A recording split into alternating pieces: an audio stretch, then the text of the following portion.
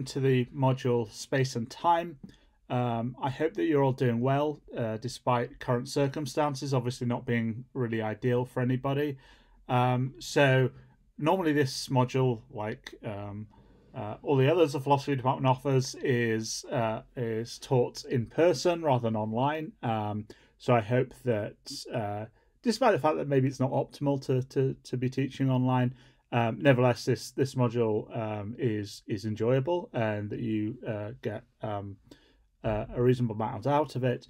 Um, so I think that um, hopefully, kind of administrative issues to do with this module, so things like seminars, um, assessments, readings, and so on. Hopefully, they've been covered in the email that I sent out a bit earlier.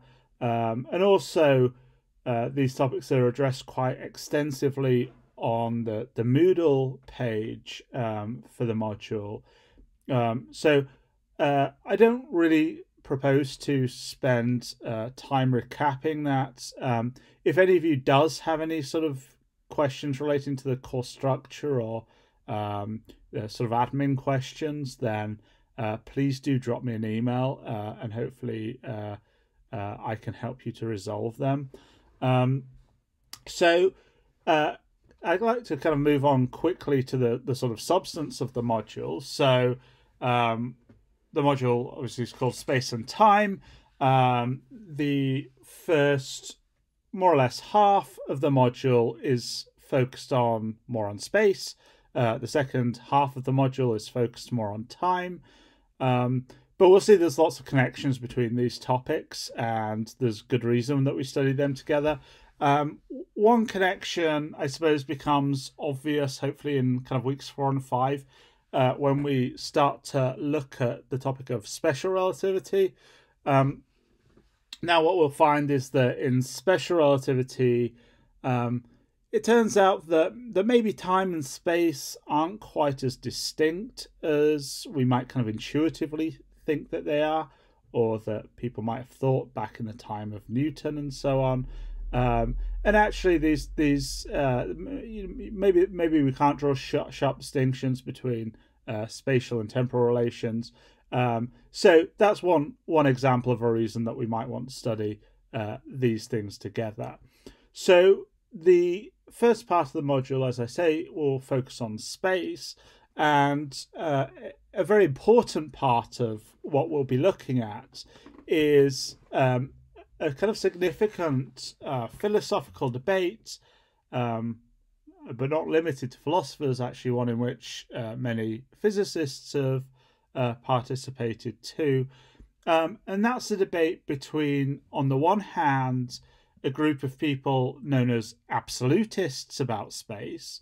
Um, absolutists believe roughly speaking, that um, space um, uh, exists in its own right. It exists independently of objects uh, that fill the space. Um, on the other hand, we have a camp uh, known as the relationist camp, according to which uh, space doesn't exist in its own right or independently of the things that, that inhabit that space, but rather space is, is nothing over and above uh, spatial relations between objects and maybe maybe events. Um, so that's the topic that we'll be kicking off with, and uh, particularly this week, we're going to be focusing on how that debate played out um, in in Newtonian times, so the sort of early modern period, um, so um, seventeenth, eighteenth century. Um, and and then going forward we'll see how it applies in the context of more more recent uh, physics so um, kind of without further ado we'll move on to the um, the the that uh, I'll sort of talk to the handout um, that that is now on Moodle uh, for this week um, and use that as a basis for for for structuring what I'll say. Um, so I've said a bit just briefly already about um, what absolutism and relationalism are. Um, so, um, as I said in the handout, maybe this is the central debate in the philosophy of space, the one between absolutists and relationists. I think that's that's probably true.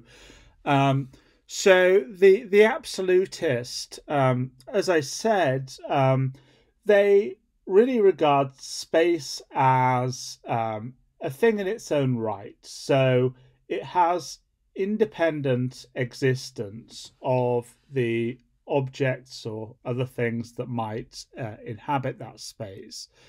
So, I mean, there are a few ways of thinking about that.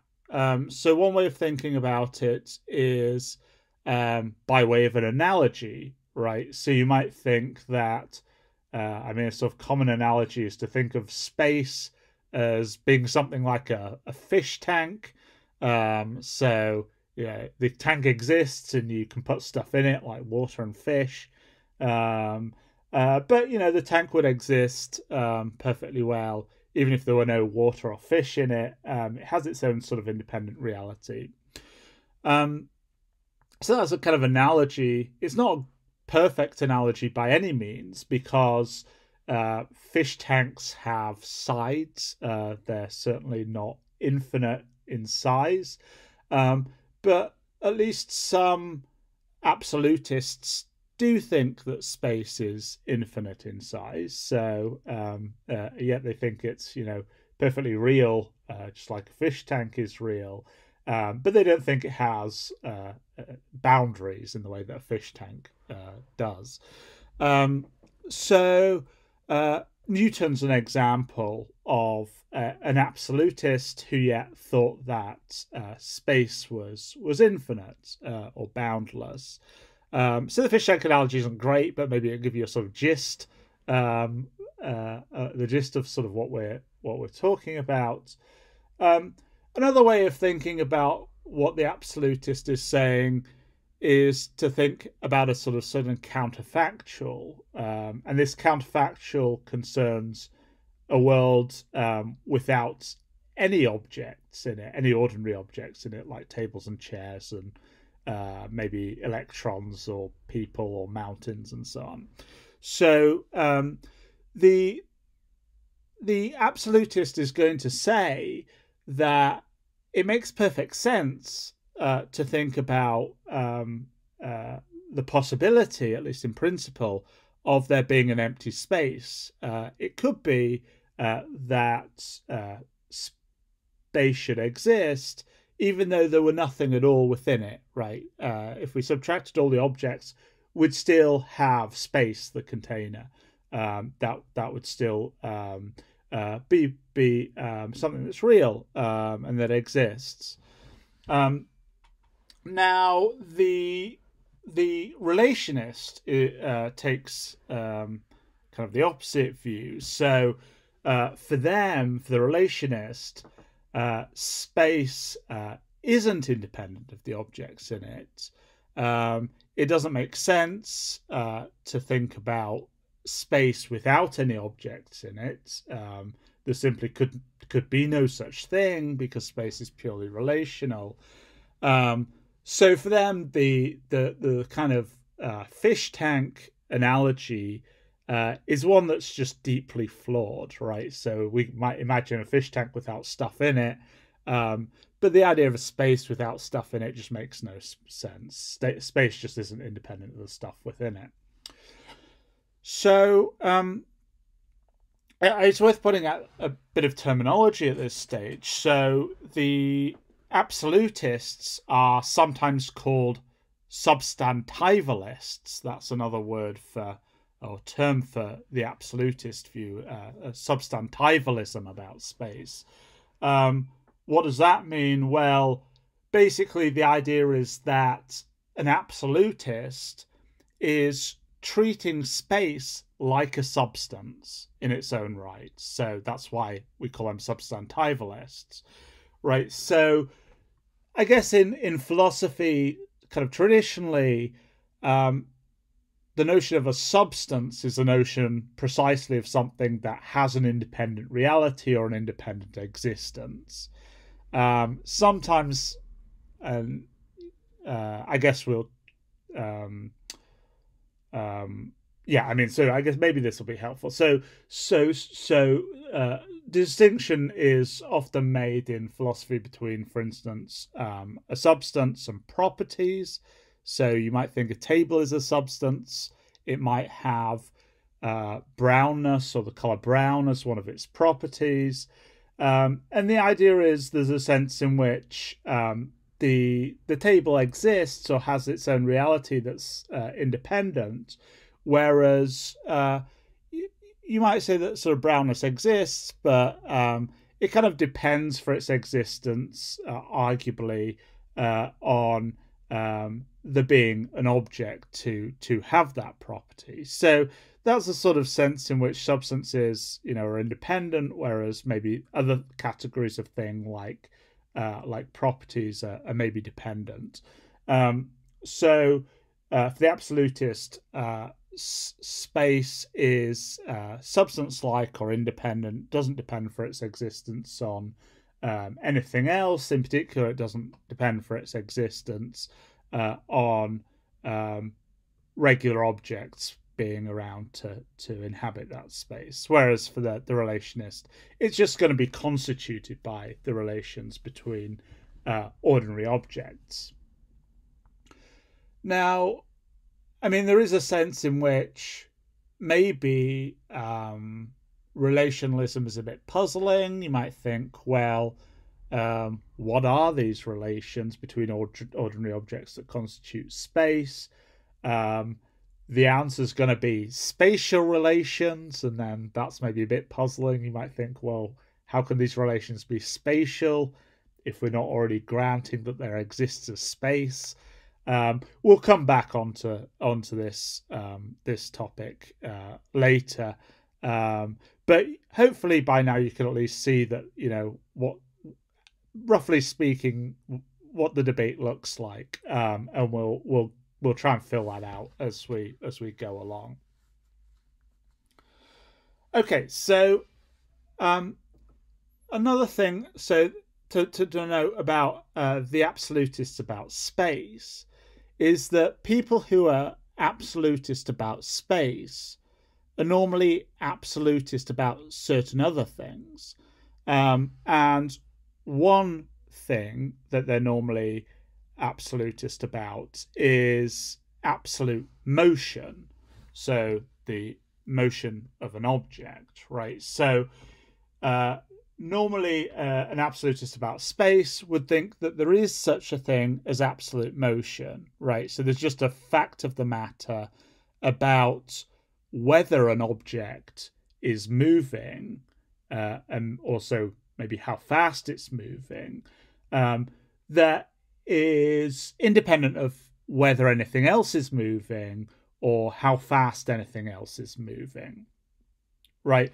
So the reason that the absolutist about space will normally be an absolutist about motion is because if you're an absolutist about space, then it's quite easy to make sense of the notion of absolute motion. So, uh, absolute motion would just be motion relative to absolute space, right? Rather than motion relative to any other ordinary object like a table or chair or an electron.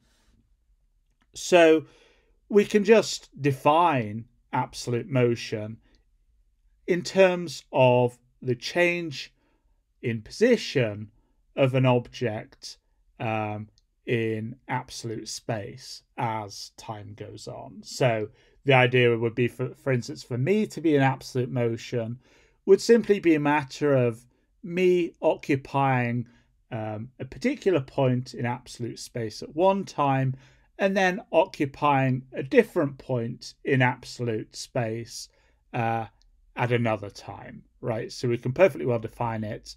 Uh, we don't need to appeal to any objects besides me and space itself, right? So in order to define it, we don't need to talk about how I move relative to the table or anything like that. So that gives a sense in which we've got absolute space.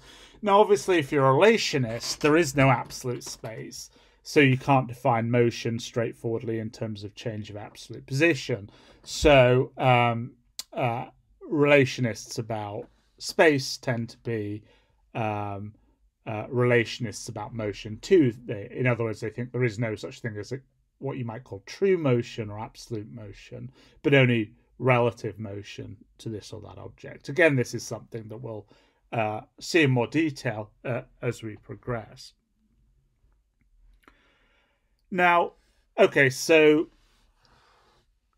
if you have the notion of absolute motion, um, then it also seems to make sense to talk about things like absolute velocity and absolute acceleration. Um, so, I mean, velocity, in a sense, is like motion.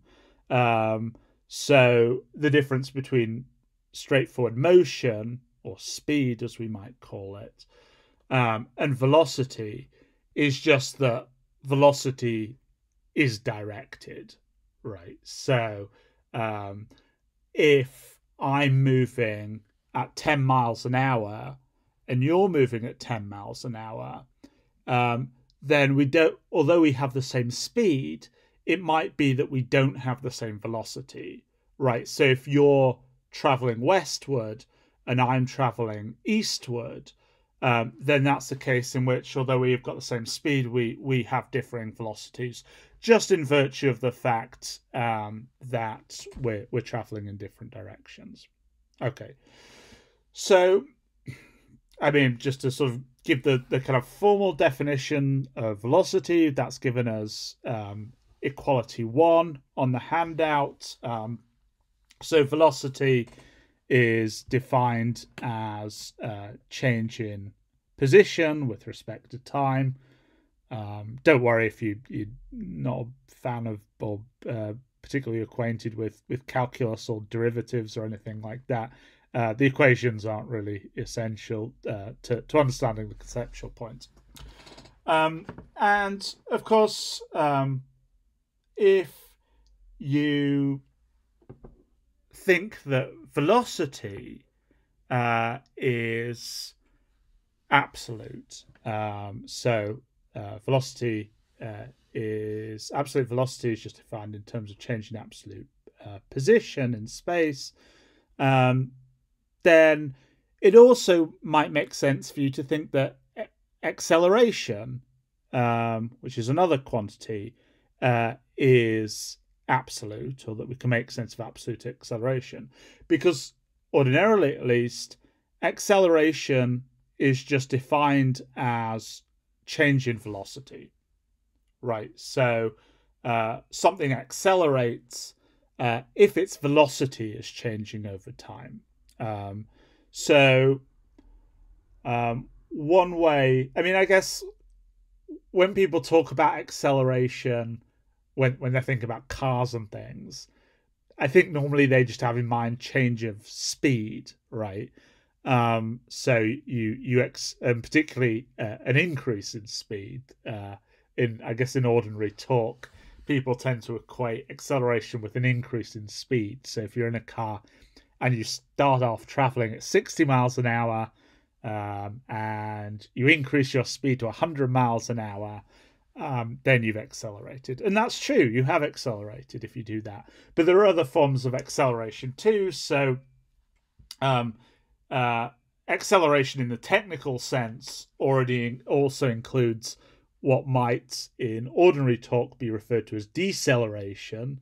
Um, so um, a decrease in speed, right? So um, it, um, if you went from 100 miles an hour to 60 miles an hour, that's acceleration in the in the in the proper sense. Um, it's a, just a change a change in velocity. Um, but also, and this is this is worth noting because it'll come up again later. Um, remember that velocity isn't the same as speed um, because uh, direction matters when it comes to defining velocity. Um, and acceleration, uh, properly speaking, is defined as a change in velocity, um, not just a change in speed. So uh, two on the handout is the the the sort of for, I guess the formal definition. Um, so an acceleration a is defined in in terms of the the the change in velocity, um, with respect to time. Um, so one way of changing velocity is obviously by changing speed. Uh, so you could increase or decrease your speed. That would count as an acceleration. Uh, but another way of uh, accelerating, or in other words, changing your velocity, is to change direction, right? So although again, this isn't really when we talk about acceleration in sort of everyday speak, uh, we don't normally think of mere changes of direction as accelerations. Uh, but technically speaking, strictly speaking, that is an acceleration. If you, that is to say, if you are traveling at 60 miles in your uh, an hour in your car, um, and you don't speed up or or slow down, but merely turn a corner, well, technically that actually counts as acceleration, even though we not, might not ordinarily uh, uh, describe it as such in everyday language. Okay, so um, since acceleration, uh, well, we, we already saw that if you are an absolutist about space, um, so you think there are, you know, absolute positions, so an absolute position would just be a position in absolute space.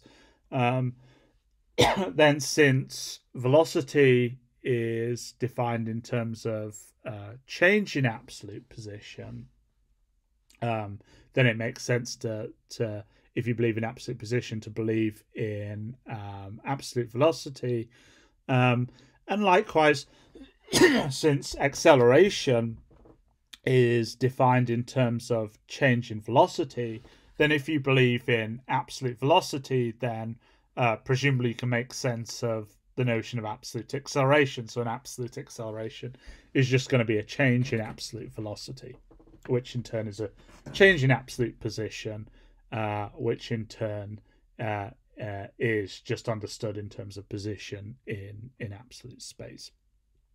So these things all tend to go hand in hand. If you're an absolutist about space, you'll be an absolutist about velocity and an absolutist about acceleration. I say tend to because we'll see that there are exceptions. Um, uh, this will come up, um, particularly next week.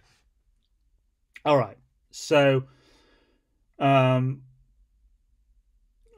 I mean, on the other hand, of course, if you're a relationist um, and you think that there's no such thing as absolute position, then uh, maybe you're going to have to um, think um, that all motion is relative, um, and uh, so all velocity and acceleration is is relative. Again, something we'll come back to. All right, so. Um, right, okay. So let's think a bit about how this notion that perhaps space is absolute um, relates to various uh, physical theories. So it seems that certain um, physical theories might tend to support absolutism, and potentially others might tend to support uh, relationalism about space. Um, I say tend to. It doesn't normally. It normally is a tendency, right? So it's normally not the case that a given theory of physics or a given physical theory uh, will conclusively uh, support uh, uh, relationalism or conclusively support absolutism. Um, but it might um, make one or the other theory look like a more attractive th- metaphysical theory of space. Um, and the, the, fact that this is a sort of just a tendency rather than a definitive uh, establishing maybe explains why th- this debate over absolutism and uh, relationism has raged so fiercely and for so long. Now, when it comes, so I mean, first we'll think about um, a, a very old physical theory um, that um, is not taken seriously by any physicists these days. Um, actually, on this physical theory, uh, Aristotelian physics, um, it does rather seem that that that uh, we have to believe in in uh, absolutism if we're going to adopt this physics. Um, perhaps unlike some of the the later physical theories that we'll consider. Um, so, yeah, as I say, Aristotelian physics um, seems to presuppose an absolutism about space. Um, according to Aristotelian physics, um, there's such a thing as the center of the universe.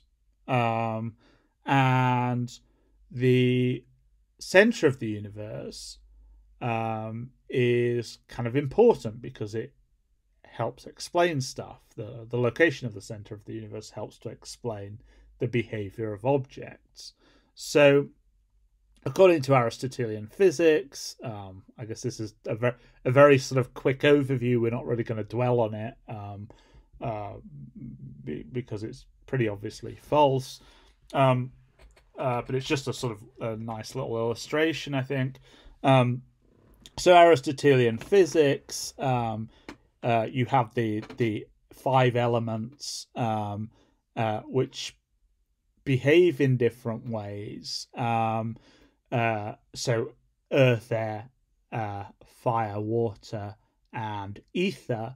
Um, and roughly Aristotelian's idea is that they sort of each of these elements has its proper place in the universe and kind of strives to achieve its its proper place in the universe. Um, so Earth will strive to reach the, the the element Earth will strive to reach the center of the universe.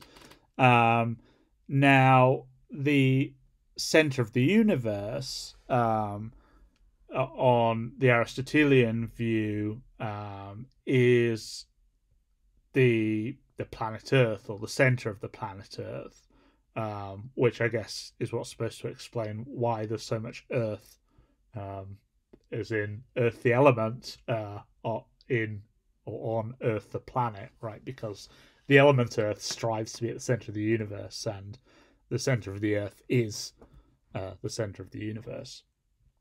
Um, right. Okay. So, so the center of the universe um, does some explanatory work in Aristotelian physics. Um, its location helps to explain why things that are largely made of the element earth, um, such as rocks, um, uh, tend towards it, right? So this is supposed to explain why an, uh, a rock, if it's dropped, will uh, fall to the ground Well, it's striving to the center of the universe because a rock is an object that's mostly composed of the element earth.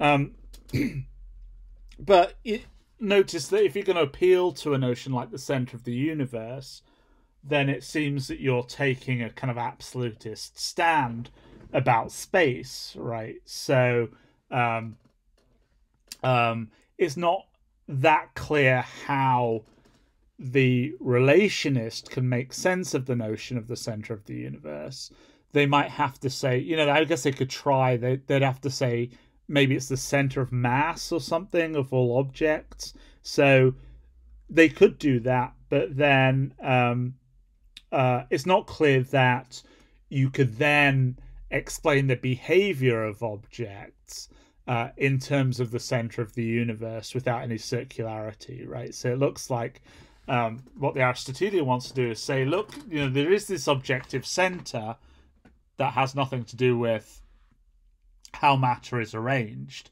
and then we're going to appeal to the fact that there's this center of the universe um, in order to explain uh, how matter behaves, how it comes to be arranged. Um, and so it looks like the center of the universe has got to be a sort of absolute and independently existing thing. Okay, so yeah, so I mean, I guess all that doesn't matter too much, right? So because no one really takes anything along these lines, along the the lines of um, uh, of Aristotelian physics very seriously these days.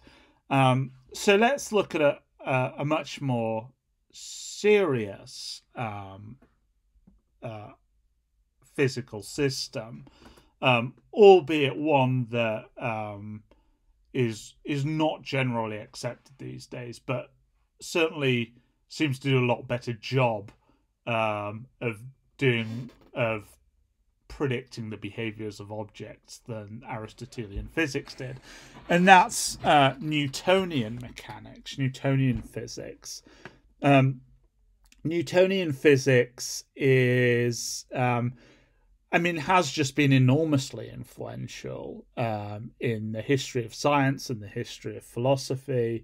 Um, it does a lot of things very, very well, right? So, um, um, they, it, I mean, so you know, engineers still use principles of Newtonian physics. Um, uh, I guess you know it's sort of commonly pointed out that um, um, I don't know if this is still true, but um, uh, satellites are launched uh, in, into orbit um, uh, using uh, predictions based on um, on Newtonian physics. Um, I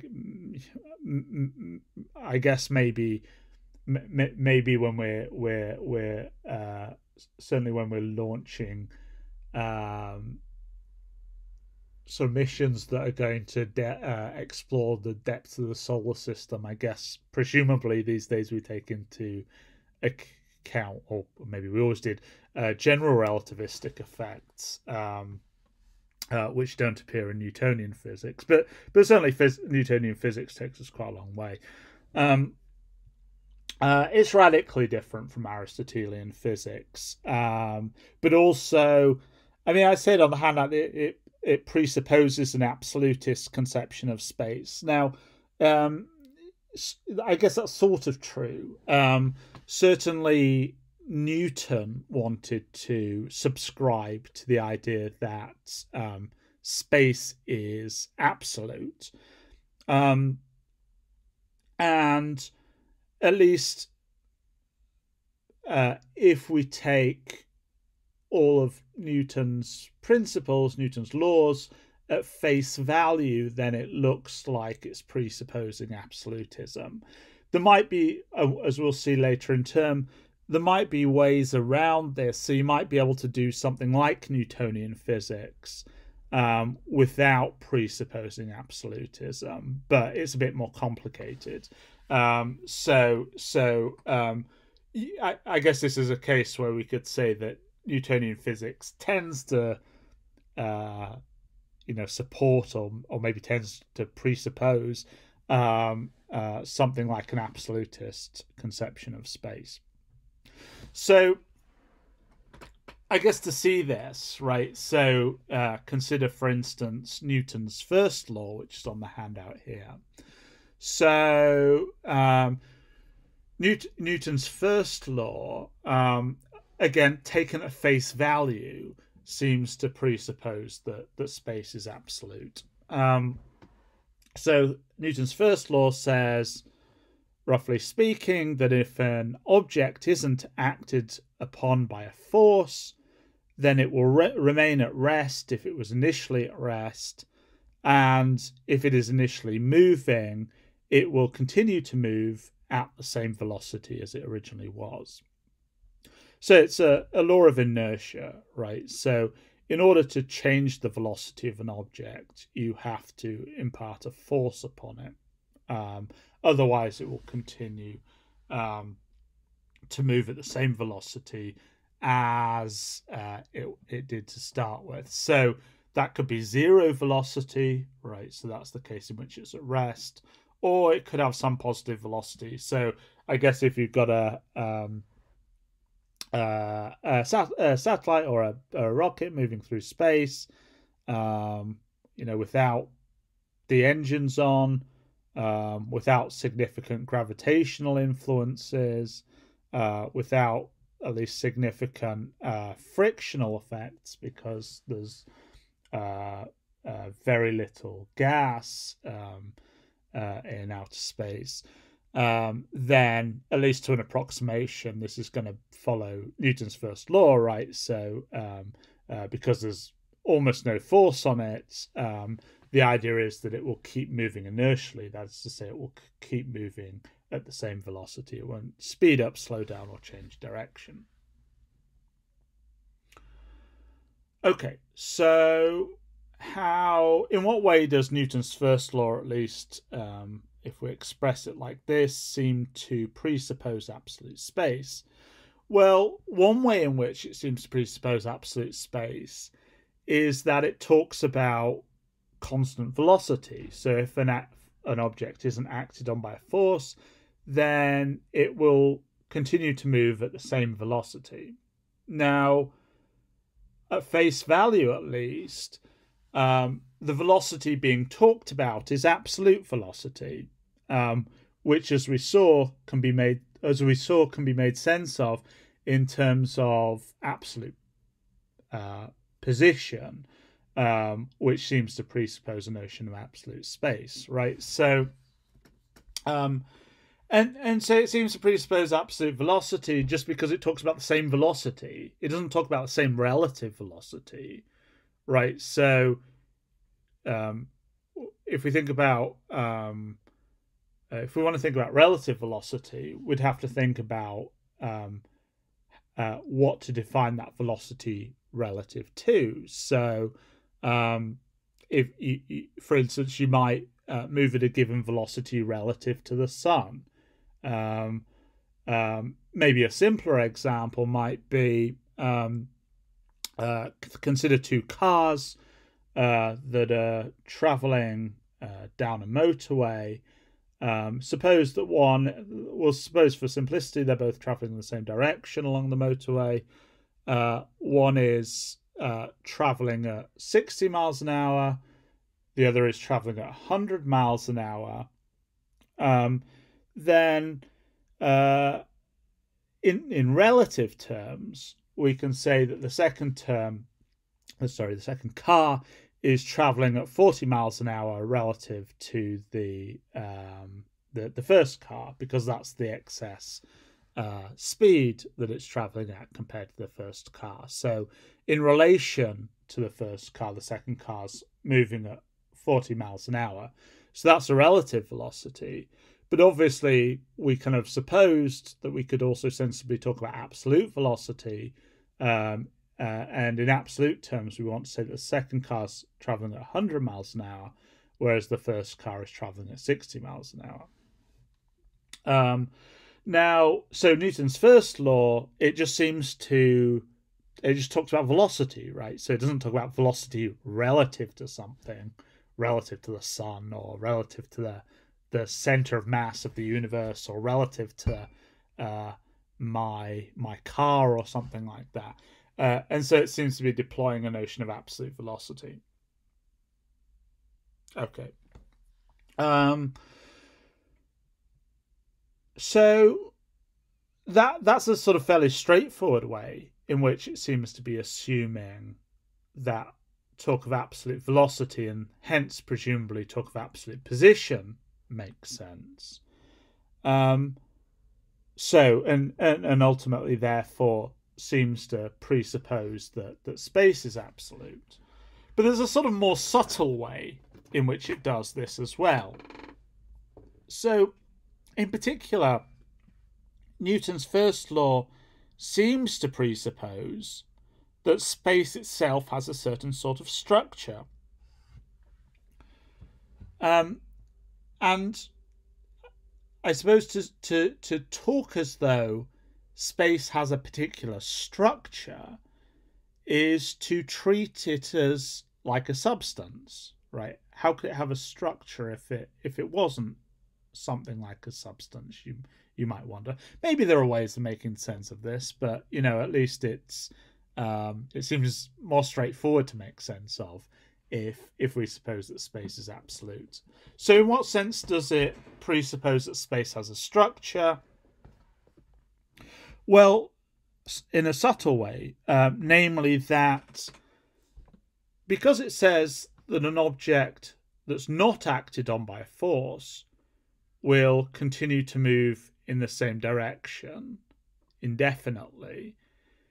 Essentially, that's to assume that uh, a straight line in space can be continued indefinitely, right? So the idea is that the, the object is moving inertially in space.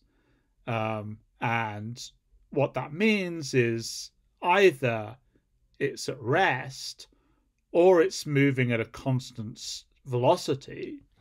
Um, if it's moving at a constant velocity, then effectively it's moving in a straight line, right? So um, it's not changing direction. Um, a change in direction would be an acceleration, as we saw earlier. Um, so Newton's first law says that if we have one of these objects that's traveling in a straight line and we don't impart any force on it, then it's going to carry on moving in a straight line. Um, it will uh, at the same speed, um, and it will do so for as long as we don't impart a force on it. But that seems to presuppose that you can just carry on traversing a, the same straight line indefinitely, right? You're not going to bump up against an edge of space or something like that, right? So that's not true in a goldfish tank, right? Because goldfish tanks have edges.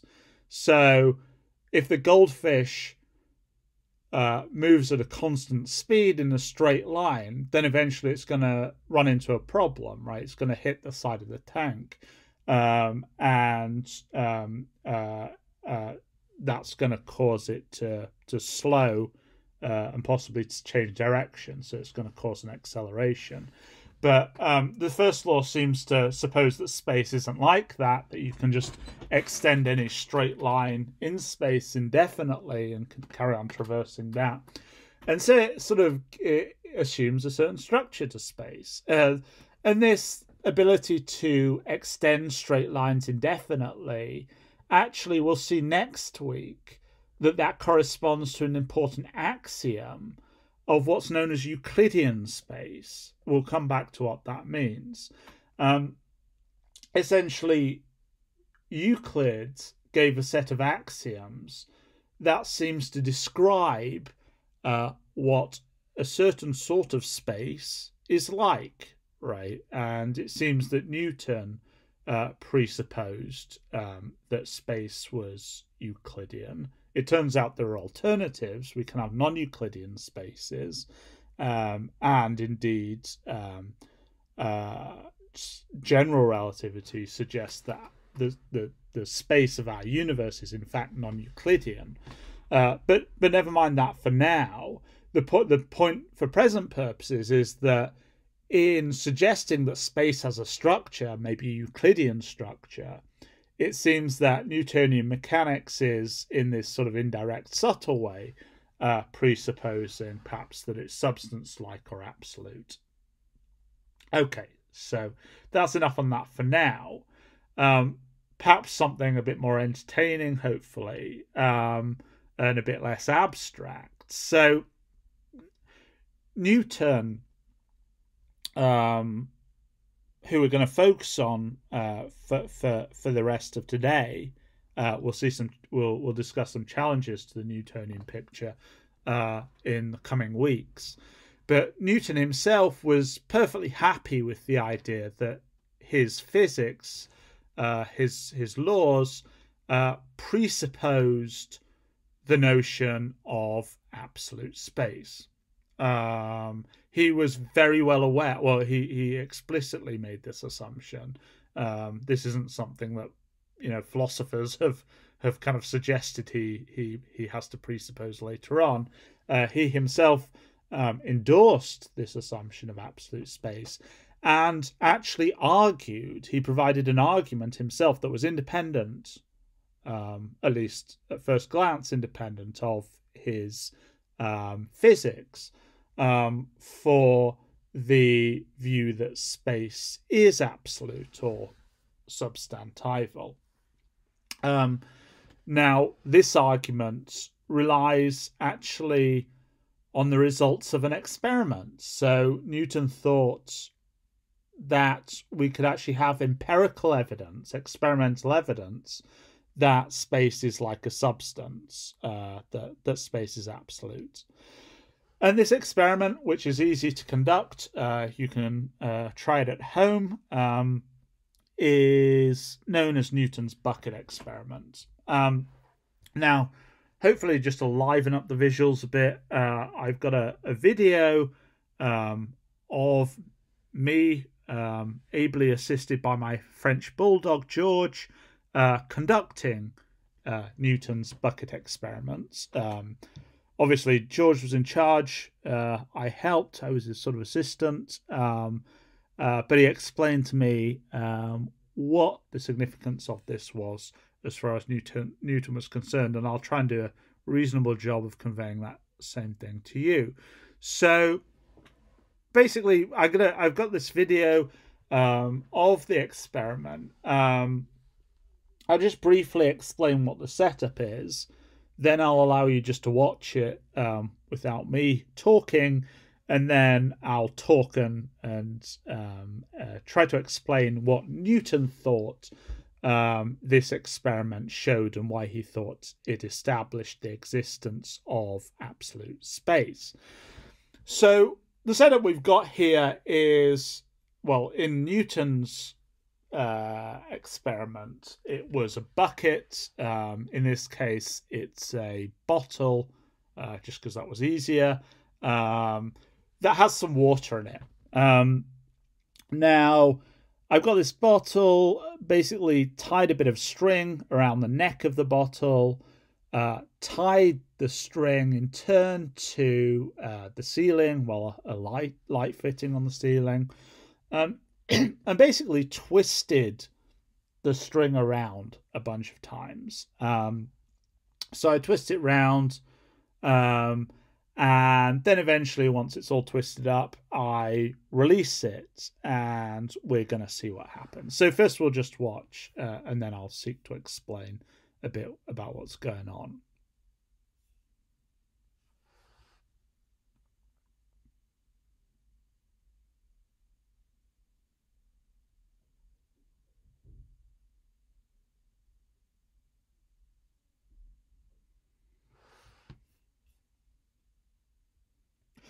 Okay, so I'll, I'll I'll carry on playing that, just running that past you a few times so that you can um, carry on having a look at what's going on. So basically, what's happened is I twisted this string around, um, then eventually released it, and as the the string unwinds, uh, obviously the the bottle uh, starts to to spin. Um, so that's that's that's um, you know uh, pretty boring so far. Um, but what the interesting part of this experiment is what happens to the water inside the bucket, or in this case, bottle, um, and particularly what happens to the surface of the water. So, hopefully, what you'll be able to see um, is that when uh, the bottle is stationary at the beginning of the experiment, uh, the surface of the water there is flat. Once I release the bottle and the bottle starts to spin, the surface of the water uh, becomes more and more concave. Um, so it's it's not flat at all um, until the, the the bottle starts to slow down again. Uh, it's increasingly concave. Um, so essentially, the water, or some of the water, is riding up the edges and away from the center. Um, and obviously, then as the, the bottle slows down again, um, the surface of the water uh, starts to flatten out again until the end of the experiment when the bottle's stationary and the surface of the water is is flat.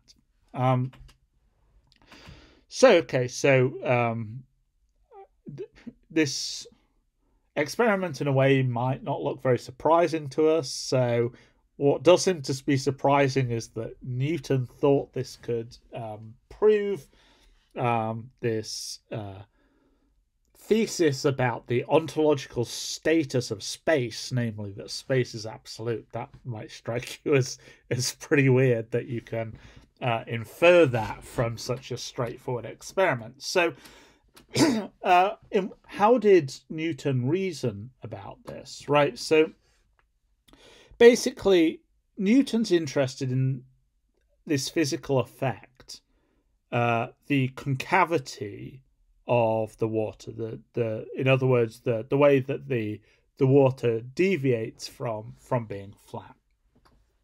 Uh, this is, if you like, an experimental effect, uh, an interesting phenomenon that's to be explained. So, um, basically, what Newton's going to do is he's going to say that we can explain this if we invoke the idea that space is absolute but we can't explain it if we uh, think that uh, space is not absolute and instead uh, endorse a, a, a, a, relationalism about space. So, okay, so so how's that going to work? So, well, think about how we explain it on the assumption that we um, that we endorse absolutism. Right. So, on the absolutist view, um, there is a clear difference um, between the beginning of the experiment and the sort of middle phase when the water's very concave. There's a difference that goes beyond the the shape of the surface of the water. Um, that difference is that um, at the beginning of the experiment, the um, uh, the the the bucket or the the bottle and the water are at rest. Um, I, I, guess you can't really quite say that they're at absolute rest. We'll come back to this, right? So so they're not. Uh, it'd be bit dodgy to say they're absolute rest because what I mean, what they're really at rest with respect to are things like the surface of the earth, um, and you know the room they're in, and so on. Um, uh, obviously, the surface of the Earth probably isn't an absolute rest, um, given the fact that the Earth's orbiting the Sun and it's spinning on its axis. Um, we'll come back to that in a minute. Um, basically, Newton's going to say that the, the the the motion of the the the Earth is irrelevant to explaining the concavity of the water. Um, so what Newton's going to say is like just you know, forget about the the movement of the Earth for now. Um, uh, it looks like the the bucket to begin with is a, is a, is at rest, and the water's at rest within it.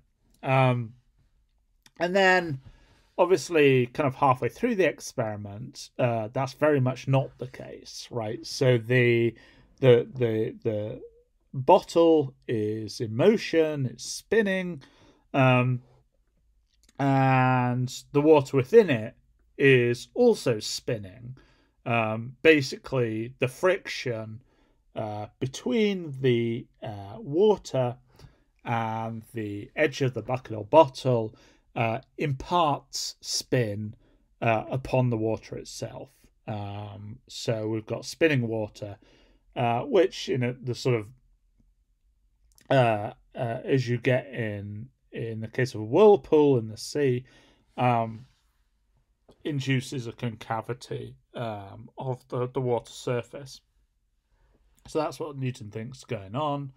Now, um, so the key difference um, uh, that explains uh, the concavity of the surface of the water um, in the middle of the experiment um, is that at that point the uh, the bucket and the water are in motion, uh, whereas to begin with they were at rest. Um, forgetting, setting aside for the moment the fact that the Earth's in motion, and so um, so presumably they're they're they're in motion in the same way as the Earth itself. Um, that aside, as I say, for now.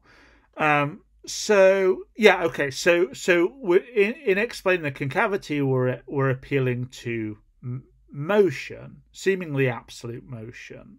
Um, actually, more strictly speaking, what we're appealing to is absolute acceleration. So uh, remember that uh, acceleration, um, uh, change of speed is acceleration, but also change of direction um, is acceleration. And so in the middle of the experiment, um, forget about whether the bottle's speeding up or slowing down, um, and correspondingly whether the water's speeding up or slowing down.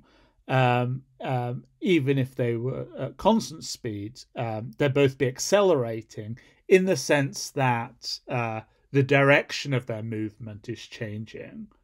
Um, so if you think about um, a point on the edge of the bottle, um, then actually the motion is a circular one, right? It's a spin, um, and uh, and so the the uh, even if it's not changing speed, um, then uh, the uh, part of the bottle's edge uh, is changing direction constantly, and therefore, um, by the technical definition, is accelerating.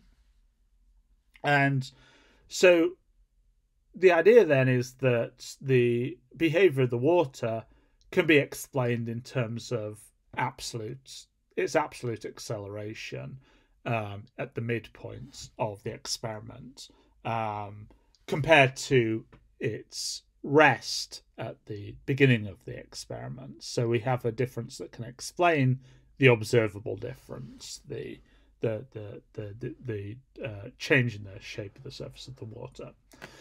Now, absolute acceleration um, for Newton is defined in terms of absolute velocity. It's just change in absolute velocity, uh, which in terms, in turn, is defined in terms of absolute position.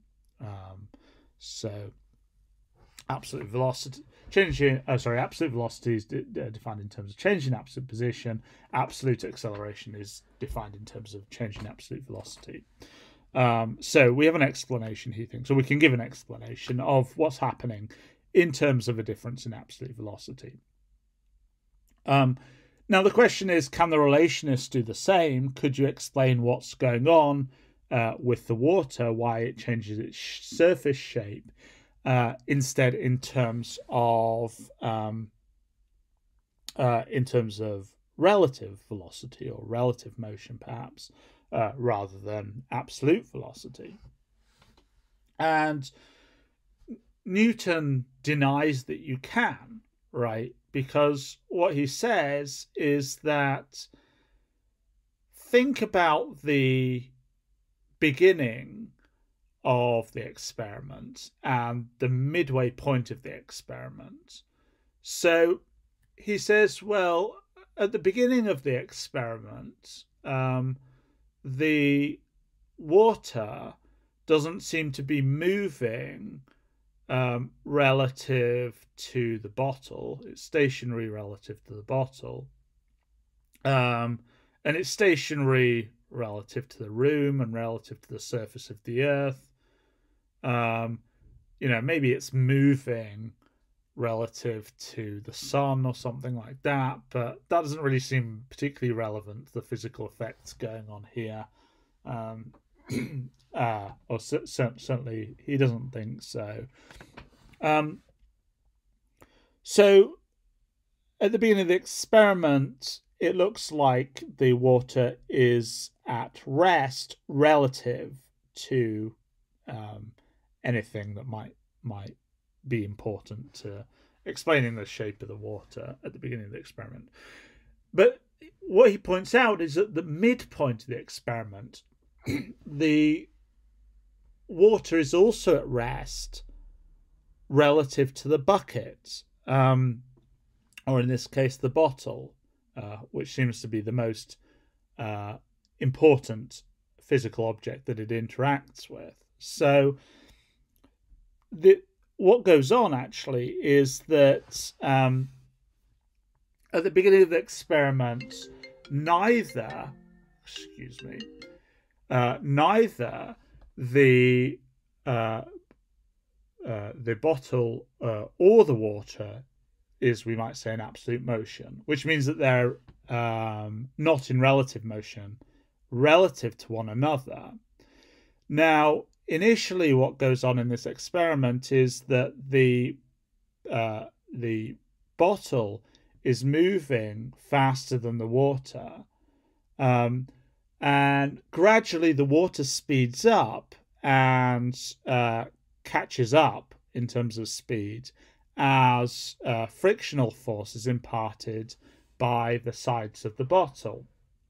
Um, until eventually, and you can prove this is so basically by drawing a, a spot on the side of the bottle and also putting a drop of dye in the water, you can prove that eventually the the water is um, at the sort of midpoint of the experiment moving at the same speed as the bottle. So that the drop of dye in the water will be stationary with respect to the uh, blob of ink on the, the side of the bottle.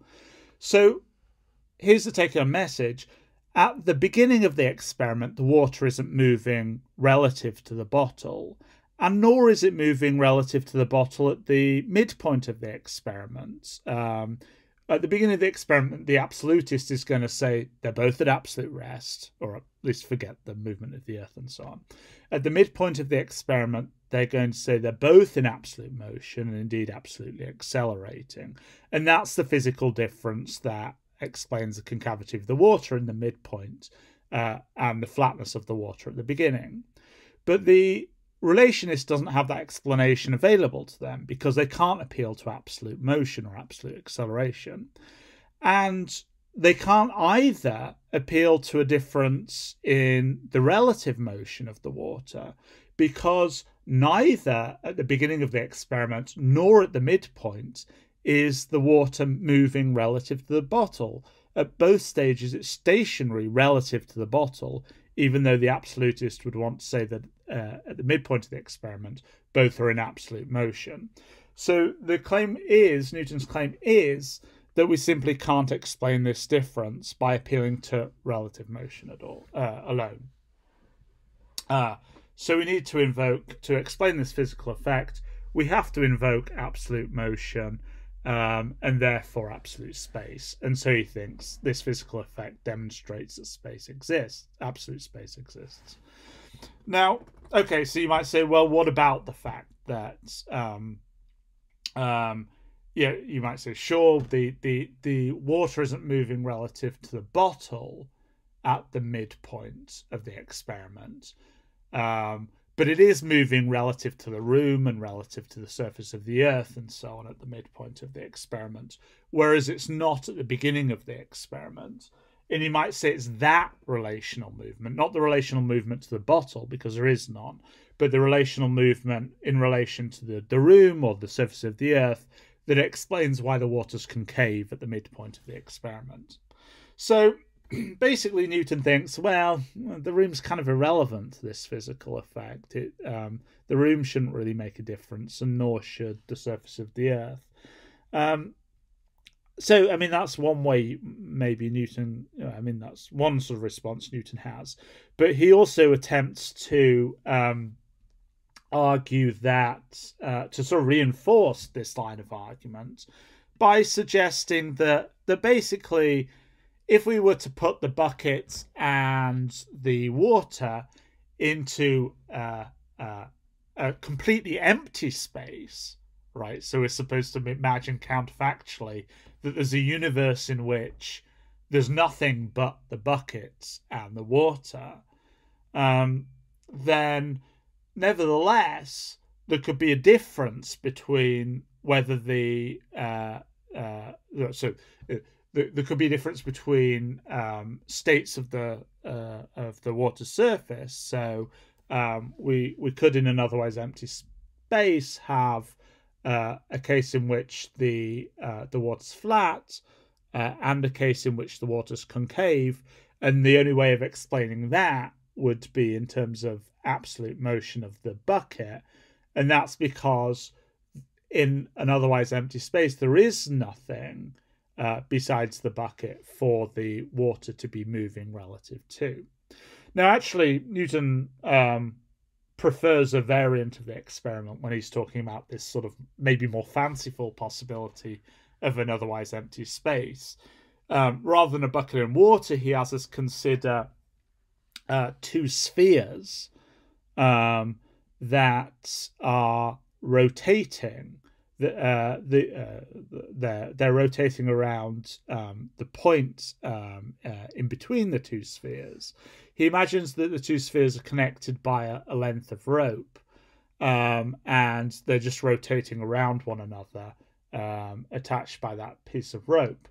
Now, Newton's point is that you know, suppose nothing else in the universe existed apart from the two spheres uh, and the rope, um, then he says, well, we'd, we'd be able to tell um, whether these um, these uh, these spheres were in motion or not. And the reason we'd be able to tell is if they're in motion, then there'll be greater tension in the rope than if they're at rest. Um, so he says, look, you know, there's this empirically verifiable consequence, namely tension in the rope, um, that could be explained only in terms of their absolute motion. Um, and that's because in a space that contained only these things, there would be no relative motion of the spheres. Uh, the, the spheres aren't moving relative to one another. Uh, the only difference is uh, that in one case they're moving with respect to space itself, um, and in the other case they're they're moving. Uh, they're not moving with respect to space itself, so they're not moving relative to one another because they're both moving at the same speed um, and uh, in the same direction. That's the idea.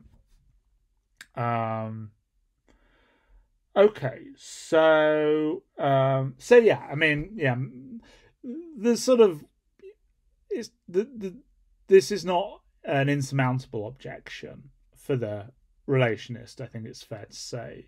Um, so the relationist might be a bit skeptical about what Newton Newton says about this this world where there's nothing but the two spheres and a rope. They might say, well how do we know what would happen in such a world?